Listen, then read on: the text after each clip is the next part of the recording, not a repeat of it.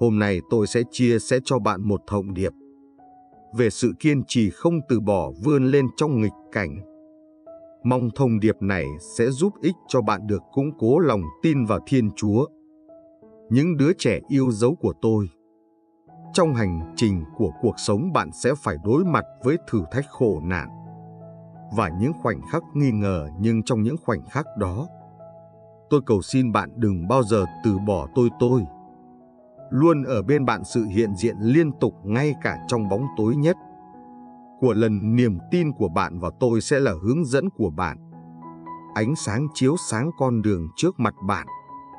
Biết rằng tôi cũng phải đối mặt với những khó khăn trong thời gian của tôi trên trái đất. Tôi đã trải qua sự tử xê, hối sự phản bội và đau khổ vô cùng.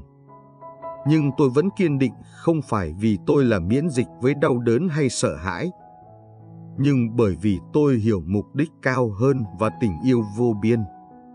Thúc đẩy tôi kế hoạch của cha khi bạn cảm thấy sức nặng của thế giới trên vai của bạn. Đi đến tôi và tôi sẽ cho bạn nghỉ ngơi khi cần thiết. Tâm trí bạn tìm kiếm sự an ủi trong lời dạy của tôi. Vì họ nắm giữ sự thật và con đường đến cuộc sống vĩnh cửu. Hãy ôm lấy tôi yêu và bạn sẽ tìm thấy sức mạnh để kiên trì vượt qua những thử thách. Đến theo cách của bạn hãy nhớ rằng tôi là vị cứu tinh của bạn. Và trong tôi bạn sẽ tìm thấy can đảm để đối mặt bất kỳ thử thách nào. Khi bạn vấp ngã tôi sẽ nâng bạn lên, khi bạn mệt tôi sẽ cõng bạn.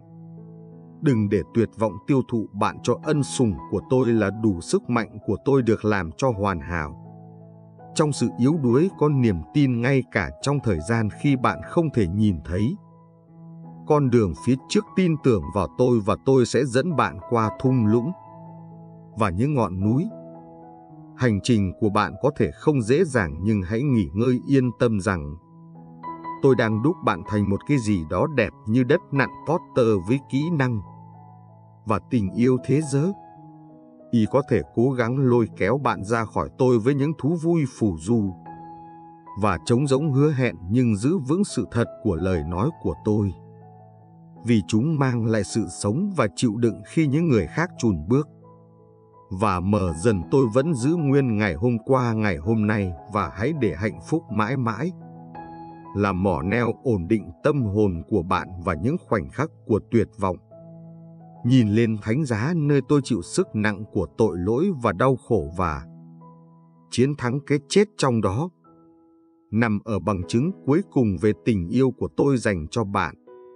Những đứa con quý giá của tôi có được nâng niu không không thể đo lường, ôm lấy món quà của sự cứu rỗi và sự đời đời. Hứa điều đó mang lại niềm vui khi biết rằng tôi đã vượt qua thế giới và với tôi bạn để chinh phục tất cả những gì tìm cách để phá vỡ tinh thần tinh thần của bạn.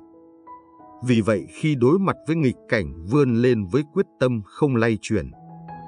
Vì tôi là của bạn, nguồn sức mạnh giữ chặt niềm tin. Không bao giờ từ bỏ tôi vì trong tôi bạn sẽ tìm thấy một con đường sự thật và sự sống đời đời. Hãy chia sẻ thông điệp này với những người thân yêu của bạn bạn sẽ được nhận tất cả những điều mà Chúa đã dành cho bạn nếu bạn tin vào người. Cộng đoàn đừng quên tạ ơn Chúa nhé. Amen.